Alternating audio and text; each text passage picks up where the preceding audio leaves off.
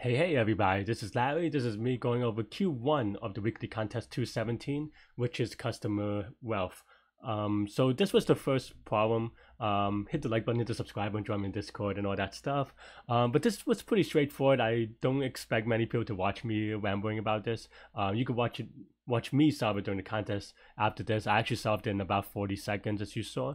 Um, but that's pretty much it. And you could probably do in one liner if you like. Uh, it's just really follow the instructions, get the sum, and then get the max of those sum for a row. Um, you could do in like I said, you could do in one line, but I didn't I don't know, I didn't really think about it that much.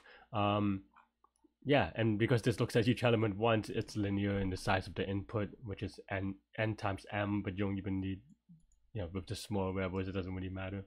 Uh, let me know what you think. Uh, and again, you can watch me solve it live now. One, go, go, go.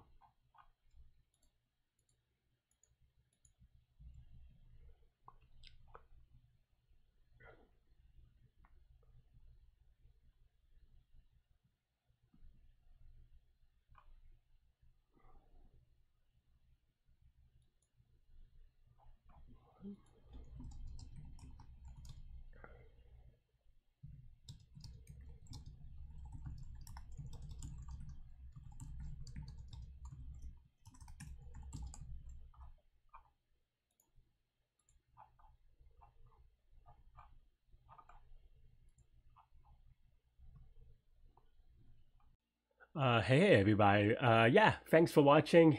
Let me know what you think about this uh, problem set. It's it, that was a very tough problem set. Um, so and this problem as well. So hit the like button, hit the subscribe button, join me in Discord. Let me know what you think. Uh, let me know your questions, and I will see y'all next problem. Bye bye.